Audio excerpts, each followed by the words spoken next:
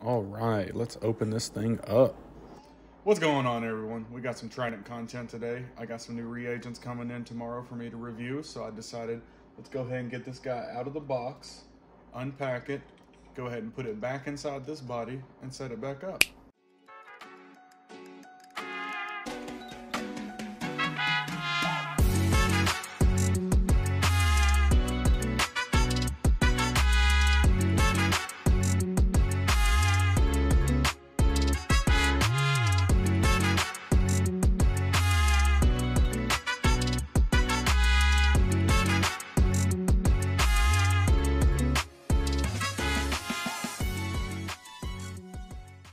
Alright, this is where you want to start by removing the reagent tray, turning the unit upside down, and removing the four rubber screw feet.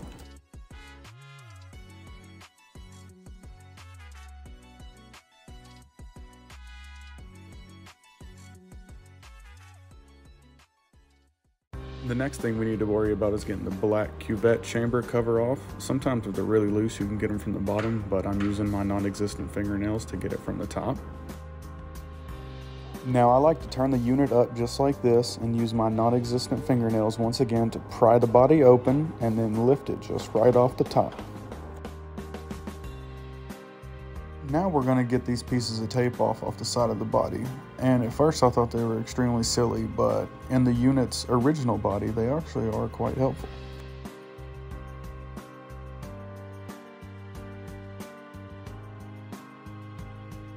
Ugh, sometimes I really wish I had fingernails.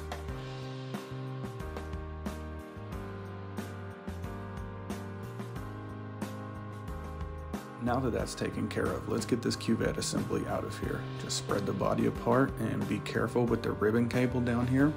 Sometimes you'll find the connectors flipped around from trident to trident. I will go ahead and show you. The only thing that matters is that little red wire right there needs to be placed at the top of the unit.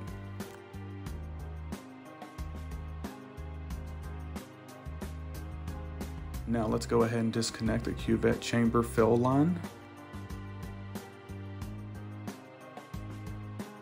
And here's the unit all nice and neat.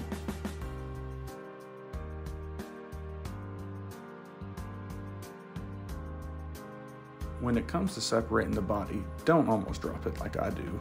What you're supposed to do is just press in on the sides and it comes right apart.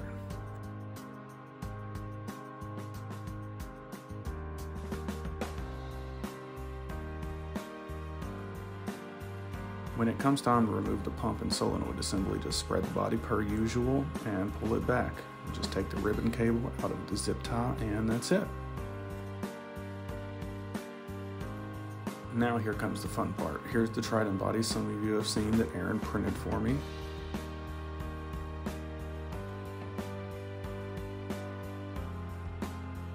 There's not much needed info here on putting it together. It's pretty self-explanatory and there's a couple clips that hold it in place, so I'll just let you enjoy and watch me put it together.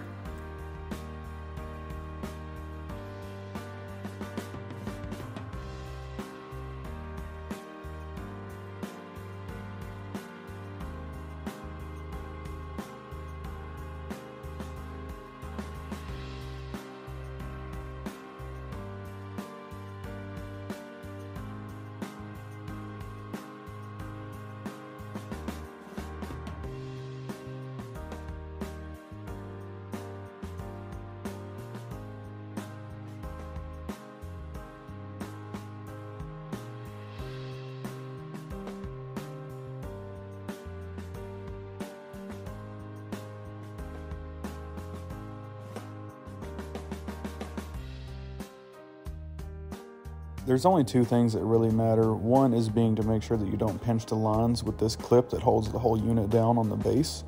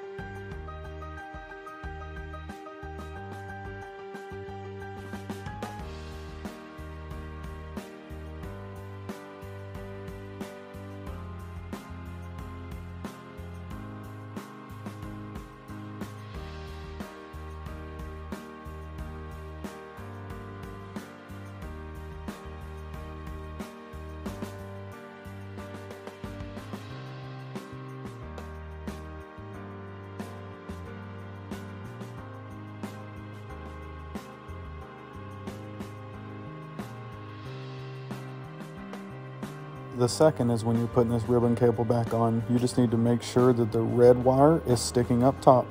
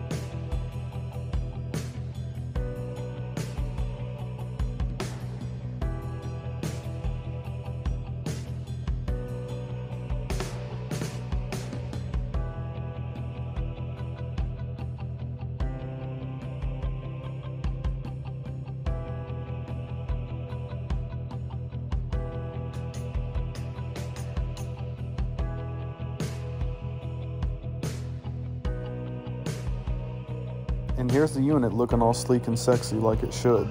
I hope you've enjoyed watching this video.